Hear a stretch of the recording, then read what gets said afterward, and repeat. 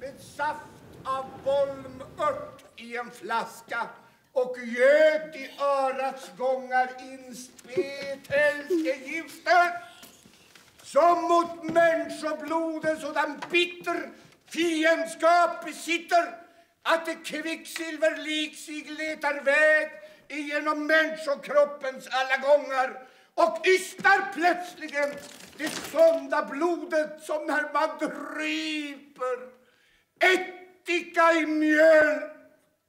Så gick det mig och i ett ögonblick spetälskan slog som på en Lazarus med skabb och leda sornader runt om min glatta kropp.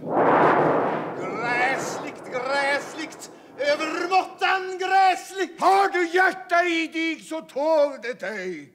Låt icke Danmarks kungabädd få vara ett bestars och den fräcka blodskams läger.